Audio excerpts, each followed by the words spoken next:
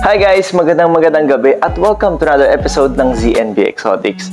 So mga guys, time check lang, it's 12.30am na. So mga guys, nakasanayan ko kasi, bago ako matulog, tinitignan ko lahat ng pets ko.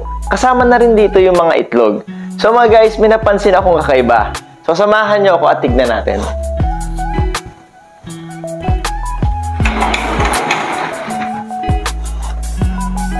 So guys, um, pag-check ko kanina, may napansin akong kakaiba sa mga ball python eggs natin.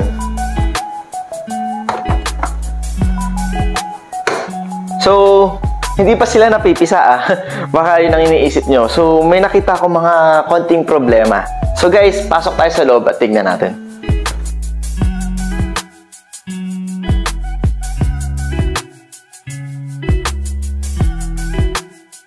So, ito guys, yung napansin ko sa mga ball python eggs natin. So, kung makikita nyo, ito, to, isa to, sample na to. Kailangan din mabago orientation. So guys, kung nakikita nyo, yung parang portion na may kulay, yung parang si, uh, transparent, see-through. So, marami yan guys eh. So, katulad na ito, ayun o, oh, nakikita nyo ba?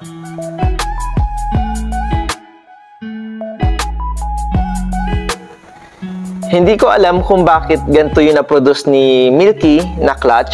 Merong mga, eh, may mga windows.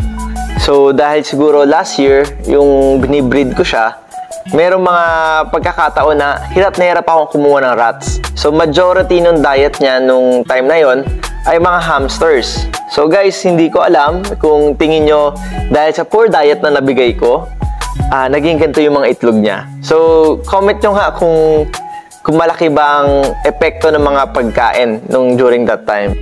So guys, uh, may mga nagsabing okay lang na may ganito, may mga windows, meron din naman na gawa ng paraan. So syempre, dahil first clutch ng eggs natin ito sa CNB Exotics, syempre gusto ko gawa ng paraan para mas safe, 'di ba? So, nag-research ako kung paano ba maire-repair ang mga ganitong issue sa itlog. So guys, uh, nag-research ako.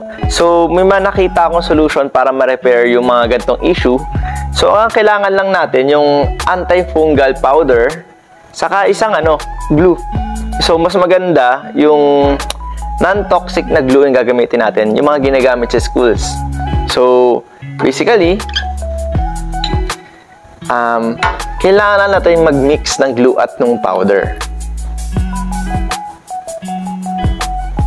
So, dahil medyo marami yung itlog, so damihan natin yung glue.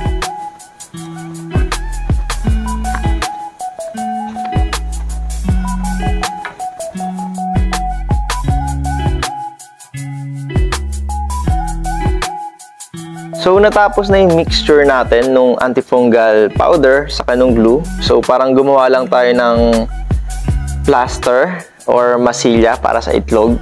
So, tingnan natin isa-isa Uh, so ito guys, so medyo malaki yung makikita yung window. So, uh, transparent yung itsura niya at medyo uh, yun, makita nyo, kulang siya sa cover. So, ang gagawin natin is lalagyan natin siya ng ano, ang uh, cover. So, yung antifungal cream, ay sorry, yung antifungal powder ay para hindi mag-spread na tong window at para ma-prevent din yung pag-build up ng molds. So, yan. Tapos, yung glue is to reinforce yung itlog para tumibay. Saka, uh, may, ayun, may reinforce niya tong itlog. So, ang tanong, paano ko siya ibababa? Kasi nasa ilalim yung ano,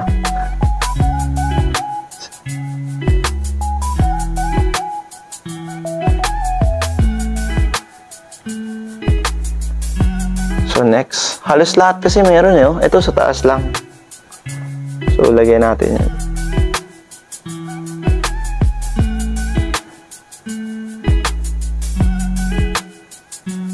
So para hindi na siya mag-spread at lumaki. At hindi siya tubuan ng mga uh, fungi. So ito, so ito guys, medyo maliit lang.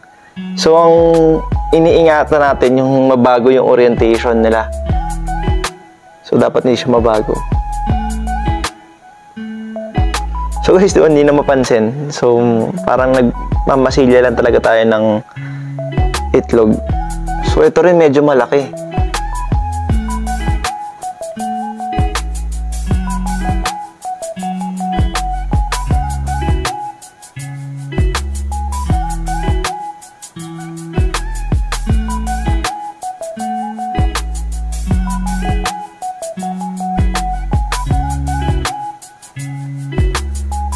So far, lahat ng inangat natin, ito rin guys, oh. Meron. Merong window, egg window.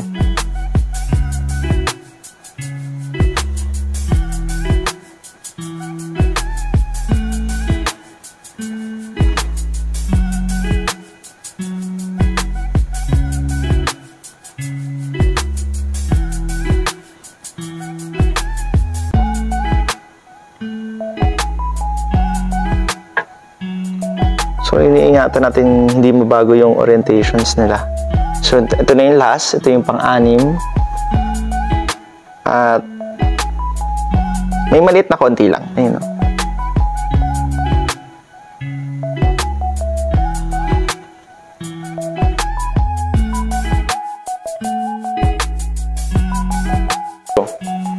So guys, ah, natapos na natin lagyan yung mga itlog. So anim sila, anim yung itlog ng ball python natin at lahat sila merong egg window. So nalagyan na natin sila ng antifungal powder na may glue.